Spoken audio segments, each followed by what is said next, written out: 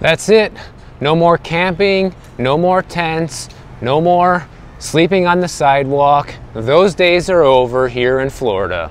In fact, on Wednesday this week, Governor DeSantis just signed a bill into law which banned homeless people from sleeping in parks, on the sidewalk, and in other public places. Looks like he's taking the lead from Miami Beach, where I live, because we were the first city in Florida to basically outlaw this as far as I know. And now it's going to apply to the entire state. And I couldn't agree more with uh, the statement on this one. DeSantis said you should not be accosted by a homeless person. You should be able to walk down the street and live your life. You know, that's the worst thing about it, guys. When people are just hanging out and smoking weed, doing drugs, drinking, whatever they're doing, and then they sit there and harass people, especially women walking by and stuff. Nobody wants that. People don't feel safe with that kind of stuff going on, and it shouldn't be allowed. And now it's not going to be anymore. Now, unfortunately, this doesn't kick in until October 1st. So there's a long time, there's a pretty big gap between when this bill was signed and when it actually starts rolling out across the state. Basically, people are going to have a couple choices from that one. You can either go to a homeless shelter or go to jail. And in some areas, if they don't have enough shelter beds, what they're planning on doing is creating you know, basically homeless camps in a controlled area, but they will have to provide them with security, sanitation, and behavioral health services to people who are staying at the camp. So it's not like just some out of control free for all. And in order to force different cities throughout Florida to do this, who maybe are against this, starting on January 1st, 2025, the Florida Attorney General is going to be able to sue any local city for not doing it. And then from there, they have five days to cure the alleged violation. The city or the county would have to pay attorney's fees and costs, so probably wouldn't be in their best interest to defy this law. And it's true, like this is really the right thing to do, guys, because you know, one thing that I always hate about going to California, even though I love spending my summer there, is that certain areas you'll walk down the street and there's just camps and people on the street and all of this. And you have to worry if you know they're psychotic they're going to stab you with some kind of needle and get aids. Like who knows what could happen right? And just the thought that that could happen is scary, right? And nobody really wants to deal with that. I know I certainly don't. But the state's going to start off by offering $10 million total for the state's 67 counties to comply with the law. And I don't think they're trying to help homeless people. You know, some of the critics of this are saying, oh, this doesn't help homeless people. You know, they're not really trying to help homeless people. Like, no, they're trying to help the tax-paying citizens that pay for these homeless people to stay on the street. That's who, that's who they're trying to help. They're trying to help the quality of life of people paying the actual tax bill go up, which should be a good thing.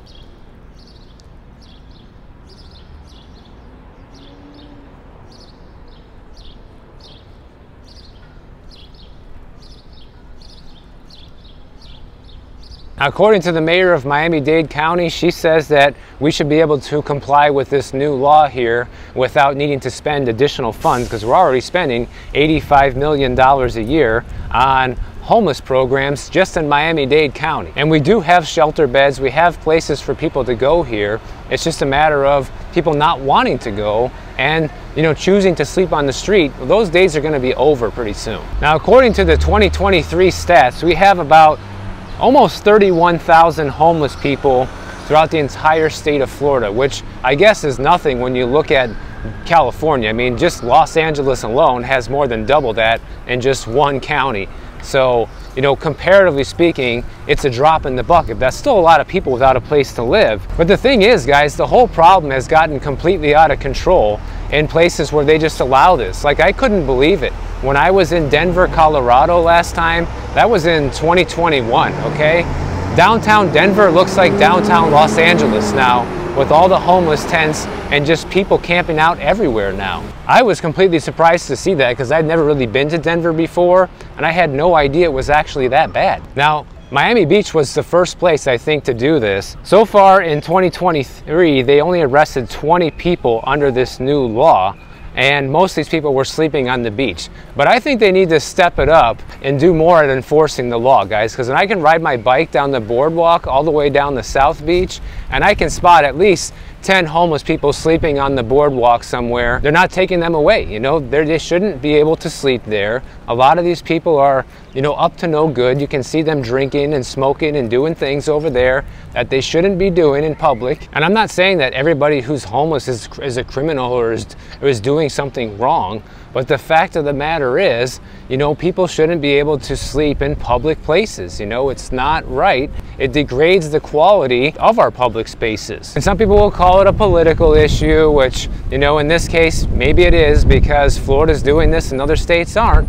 But I'll tell you what, guys, if you are paying taxes and you are paying for streets to be clean and safe for your family to walk on and not have to worry about being accosted by somebody who's sleeping there or has a tent on the street, I think that qualifies as the tax dollars going towards, towards good use versus just letting that happen. People still have to pay taxes and have to worry about stuff like that. So I just feel like it's a common sense issue, but a lot of people are going to tear it apart and say, oh, it's, it's this and that. Da, da, da, and Miami-Dade supposedly has been doing a good job at helping people get into permanent housing, by the way, you know, when they take them off the streets. Ever since 1992, uh, we actually created the nation's first dedicated funding source for homeless services using a 1% food and beverage tax. And since then, the county has gone from more than 8,000 homeless people to less than 1,000. So, you know, homelessness is not a huge issue here. It's not like readily visible. Like you guys can see on my walks here, maybe I can count on one hand how many times we've seen somebody homeless in one of my videos here in Florida. It'll be interesting to see how it goes this summer in California. But you know, I stay in nice areas over there, just like here, and you really don't see a lot of homeless there either. It's just in areas where they let it spiral out of control that is very visible. But it's just like the stark difference of the way of doing things these days is kind of mind blowing, you know? I just saw a story how they literally arrested a homeowner in New York for trying to get a squatter out of her home. And meanwhile, here in Florida, we just passed a law making it easier than ever to get squatters out of your home. I mean, the contrast is like unbelievable, guys. You can't make this stuff up. So in case you guys haven't heard this story yet, in New York City, a person who has occupied a, a property for more than 30 days cannot be removed by the landlord without a judicial eviction, okay? And this is due to the squatters' rights laws they have over there and it's intended to protect tenants from predatory landlords. But what it really does is it allows any Yahoo to just move into your property when it's vacant and make some sort of claim on the place and say that they're allowed to live there, which is completely not right. Now, I will say that when it comes to squatting, guys, like I can see how there should be some sort of squatters' rights. Like I'm talking like long term. Like say you find an abandoned house somewhere and you're living in that house for five years and repairing it and taking care of it as, as your own and nobody claimed it, then sure, maybe that house should eventually belong to you, okay? I think that's pretty fair. Five years, that's a long time to live in an abandoned house, and if no one's checking up on it in that amount of time, then maybe you can take over, right? Maybe the law can be on your side. But 30 days? I mean, that is a joke. 30 days, guys, come on. So at the end of February, this woman went to uh, a house that her parents, her parents used to own. They passed away, so the house was vacant, obviously. And she went there with a news crew and she walked in to find two guys that were living in the house. And they said they've only been there for a couple of days. And one guy came in and said, Oh no, I have a lease. And she said, Well, I'm going to change the locks because you guys aren't supposed to be here. And they called the police. The police showed up. You know what the police told her? They said, if you change the locks, then this could lead to your arrest. Like, huh? So locking somebody out of my own house that I can prove that I own is going to cause me to be arrested and these guys get to walk free? I mean, they're literally letting the criminals run the show in places like New York and arresting Uh, the, the tax paying owner of this property. Think about how backwards that is, guys. Like, just like I was talking about earlier with these homeless laws, like, people are worried about, oh, this doesn't protect homeless people. No, it protects people who are actually paying their bills and paying the taxes and allowing the city services to actually continue, making a contribution to society. Okay? So this woman goes, I may end up in handcuffs today, but if a man shows up here and says I have illegally evicted him, I said, let him take me to court, as I have been told to take him to court because I'm not leaving my house. So good for this woman for standing up the, for her right to own her own house, you know? Who would have thought that it would come down to this? I mean, in the old days, guys, rewind is like 100, 150 years, you try to take somebody's house, you're just gonna get shot. Just gonna kill you, leave you there, you know, take you out. And no one's gonna do a damn thing about it because that's just the way it should be. So places like this are gonna have to start learning justice the hard way, I think. And um, I'm glad that Florida is taking the initiative in this because here, not only do we just make uh, being homeless and sleeping on the streets and camping on the streets illegal, but we also made it far easier to take squatters out of your property that don't belong here. House Bill 621 permits police to remove squatters without a lease authorized by the property owner and adds criminal penalties Landlords under the current law typically have to wade through a long and expensive legal process to remove squatters. So for a long time, things haven't been much better here in Florida, but that's all changing now. So this basically gives the police the immediate ability to evict squatters. It also charges squatters with a misdemeanor for squatting or presenting a false lease. And then it becomes a felony if they do $1,000 or more in property damage. So people like to make fun of Florida. You know, we're, we're actually uh, the butt of the joke a lot of times with a lot of different different things. But you know what we're doing here, guys? We're enforcing the law. And I'm sure a lot of people that live here in Florida are very happy to hear about this. I know I certainly am. And one last thought on this, it's not like I don't have any sympathy or compassion for somebody who's homeless. It's just that, you know, look at how nice this park is right here, guys. Check, take a look at this. This is a perfect example here. This park is beautiful. You have kids playing on the playground. You have, you know, residents just walking around, elderly.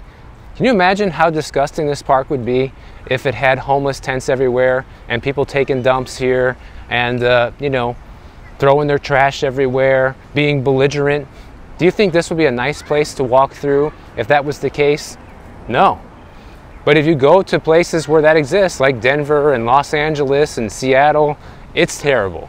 And that alone should make any level-headed person think that this is the right thing to do. You guys heard in my video the other day about how your car, if it has a navigation system, is now probably spying on you and selling your information to insurance companies to help raise your rates. And the reason this is possible is because of data brokers. And data brokers collect your information with or without your knowledge, and that's why I partnered with Delete Me. Delete Me is a subscription service that will remove your personal information from these data broker websites. And honestly, the less information that's out there about you that's public these days, the better, if you ask me. I mean, look at my report here. All these data brokers with my info that is in the progress of being removed is completely out of control, okay? And Delete Me is also doing a great job showing all the places that have already been removed this quarter. You can see as of my most recent report that just came out a couple of days ago,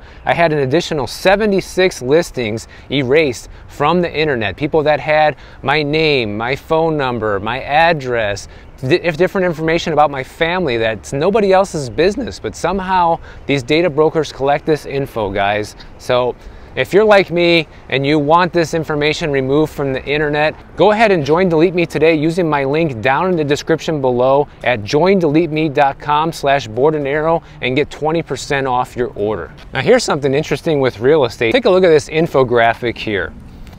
This says that this could be your potential growth in household wealth over the next five years just from purchasing a $400,000 home in January of 2024. So they're saying your net worth is going to go up by on about another $83,000, $84,000 over the next five years just if you were to buy a $400,000 house in January this year.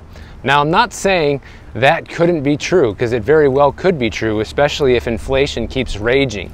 However, charts like this only ever assumes and only ever paints the picture to home buyers that prices only ever go up which is actually not true. But like I mentioned in my last housing crash video, This time could be different in the sense that the crash could come in the form of inflation really causing the real crash. You know, we might not see home prices come down in real nominal terms, but when adjusted for inflation, they go negative. You know, if inflation starts ticking back up to 5 6% a year or more, like Peter Schiff, he just predicted we're going to have double digit inflation by 2025. That's next year, guys. I don't know if that's true or not, but he's been right about a lot of other things, so let's see. If your home is going up in value 2 or 3% a year, but inflation is raging at 10% a year, then you're still losing 7% of the value of that home and you're losing 10% of the value of your dollar. So it's even worse with cash. But the worst thing about infographics like this is realtors share things like this on their social media and they use this to, you know, convince people that they should buy a home. And unfortunately, what it does is it creates FOMO and more fear with home buyers, okay? And then it pushes them into doing something that they shouldn't do, like getting an adjustable rate mortgage. In fact, according to a new poll from first time homebuyers, 84% of first time homebuyers plan to borrow for their home purchase. 23% of them are considering an adjustable rate mortgage right now, which doesn't even make any sense because adjustable rate mortgages aren't even that much cheaper than 30 year loans right now. It's negligible the difference in cost, but yet 23% are considering them.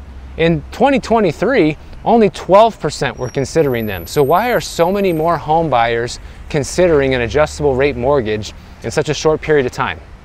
It's because they see information like this that scares the crap out of them in order to go out and buy a home. You know, if, if you don't, you're never going to own a home. That's kind of like the scare tactic that agents and realtors and mortgage brokers are able to use still to convince people to buy. If you don't buy one now, well, look at that. You're going to lose out on $83,000 of equity growth over the next five years. Like, who's guaranteeing that? Nobody can guarantee that. And not only that, but it puts people in a position who probably aren't financially healthy enough to, to, to buy to actually go ahead and make the leap anyways because 79% uh, of low to moderate income people say that they're confident in their ability to buy a home, but yet they don't even know that they can get uh, down payment assistance. They don't know anything really about the process, but they say that they're confident that they can buy a home, even though they really don't have the income. And people like that are usually loaded up with debt. And I've always been on the fence with this sort of stuff because on the one hand, as a first-time home buyer, you know, you can build wealth if you buy the right property at the right time.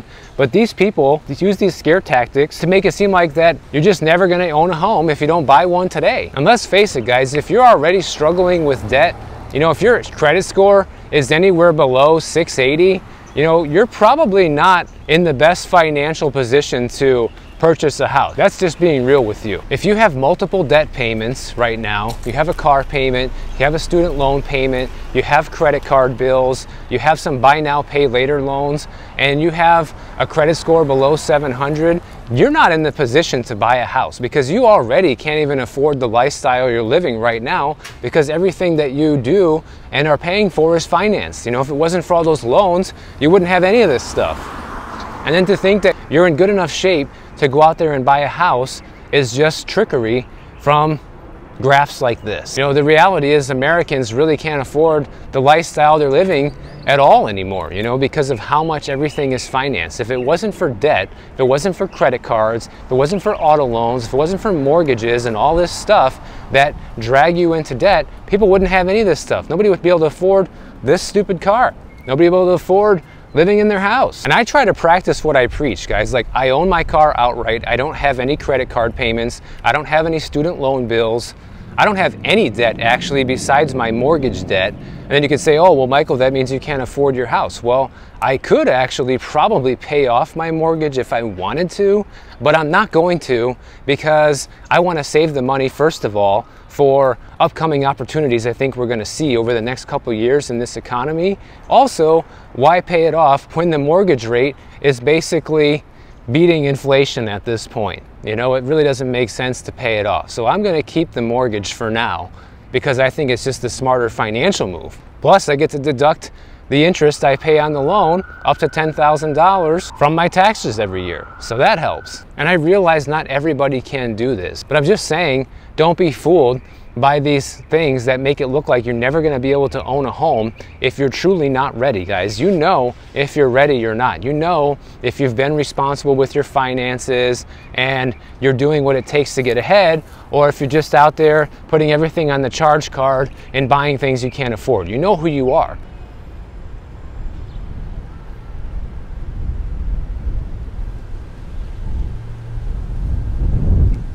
Now we all saw how the Fed didn't raise the interest rates at the last meeting. Surprise, surprise. Who could have saw that coming? But I still think they should be raising rates, guys. And you know why? Because after we just got the most recent CPI reading in February, inflation literally jumped to 3.2%. And core inflation is still at 3.8%, which is almost double the Fed's target rate. And February of 2024 was also the 35th consecutive month with inflation above 3% right now. And so with these figures, the Fed literally can't afford a pivot. They can't afford to change their strategy right now and lower rates. If you think things are expensive now and you think inflation is bad now, just imagine how that's going to look if they pivot in June like everybody thinks they're going to after this last meeting. And I would not be taking Jerome Powell's words as gospel right now because last year he signaled that there was going to be numerous rate cuts in 2024 beginning as early as March. Well, look, we're already in March, no rate cuts, and probably not even one coming at least until June, if there's going to be any at all this year. But some people are always asking, well, where's the good news in all of this, Michael? You know, you always talk about all the bad things. Well, here's some good news for you. The good news is that the net worths for people who are doing well right now are at all-time highs. The stock market prices are at all-time highs. Real estate prices are at all-time highs. I don't think that's a good thing unless you own real estate and you love paying property taxes, but anyways, some people think that's a good thing. And you can earn 5% interest on your cash in the bank or in T-bills or whatever you choose to do with that money. So there's the good news, right? But here's something to remember, guys. The highs never last with anything. These were all all-time highs that you just heard me say, but highs don't last. Whether you're talking about drugs, whether you're talking about the economy, whether you're talking about the tide of the ocean coming in and out, the highs never last. So enjoy the high while it lasts. If you guys enjoyed this video, make sure you subscribe to the channel. And if you don't want to wait for my next video to come out, check out this one on the screen right over here, and I'll see you in the next one.